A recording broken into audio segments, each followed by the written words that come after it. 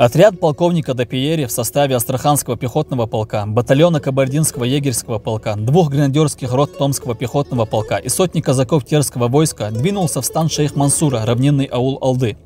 Оставив часть команды у реки Сунжа 5 июля 1785 года, двухтысячный отряд полковника Пиери проследовал к лежавшему в нескольких верстах от переправы к аулу.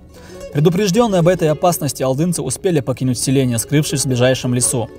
Шейх Мансур, не желавший войны с Россией, послал парламентеров к царскому отряду, но мирная делегация была расстреляна залпом в упор. Отряд Пьери ворвался в опустевшее селение, состоящее из 400 домов, разграбил и сжег его. Обнаруженные в ауле несколько человек, в том числе беззащитный старик и мальчик, были убиты. Чеченцы, на глазах у которых сжигали их дома и убивали родных, рвались в бой, но шейх Мансур медлил. Войско Пьери двинулось обратно в лес – Шейху Мансуру сообщили о гибели его старшего брата. Чаша терпения была переполнена, мира уже быть не могло, и Мансур вытащил из ножен клинок. Лесу отряд Пиери попал в окружение. Со всех сторон зазвучали выстрелы. Царские солдаты и офицеры падали убитыми и ранеными. Отряд Пиери понес большие потери. В этот момент посланная сверху из густой листвы меткая пуля смертельно ранила самого полковника. Оставшихся без командира людей охватила паника. Чеченцы, вытащив шашки и кинжалы, с криком бросились в рукопашную. Раненый в ногу майор Каморский продолжал вместе с горской солдат обороняться штыками от нападавших алдынцев, но вскоре получил еще одно ранение и скончался. Уже со всем отрядом Пиери было покончено, только одна группа солдат продолжала мужественно отбиваться. Руководил ею 20-летний унтер-офицер-адъютант полковника де Пиери.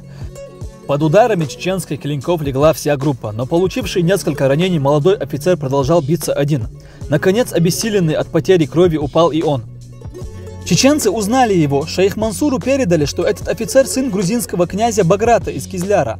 Шейх Мансур видел, как храбро сражался грузин. Он приказал перевязать офицеру раны, положить его на носилки, переправить через Сунжу и отдать русским. Отряд Депиери был уничтожен. 162 солдата и две пушки были захвачены алдынцами. В сумерках факельная процессия горцев вышла к переправе. Шедшие впереди с белым флагом седобородый старик и его товарищи перенесли покрытого буркой раненого и положили его у ног русских офицеров. Раненого сразу же узнали. Офицеры хотели вознаградить алдынцев, но чеченцы сказали, мы храбрых людей не продаем и не покупаем. Этим раненым унтер-офицером был князь Петр Иванович Багратион, будущий герой Отечественной войны 1812 года, немеркнущая слава России. Значение первого успеха чеченцев было велико. Резонанс в других областях Кавказа не заставил себя ждать. Эта победа сыграла важную роль в подъеме личного авторитета шейха Мансура. Вскоре, при большом стечении народа и посланцев со всего Северного Кавказа, он единодушно был провозглашен имамом Кавказа. Движение горцев стало охватывать всю территорию Кавказа, от Терека до Кубани. К концу 1785 года силы горцев составляли до 10 тысяч бойцов. Одновременно с национально-освободительным движением усилилась и борьба крестьян против своих угнетателей, феодальных владельцев. Владетели деревни Андреевской сообщали своим покровителям, царскому командованию, что народ из повиновения вышел. Есть у них намерение, чтобы нас из деревни выгнать. Под влиянием идей имама Мансура о равенстве крестьяне убегали в лагерь у Шурмы или изгоняли своих князей.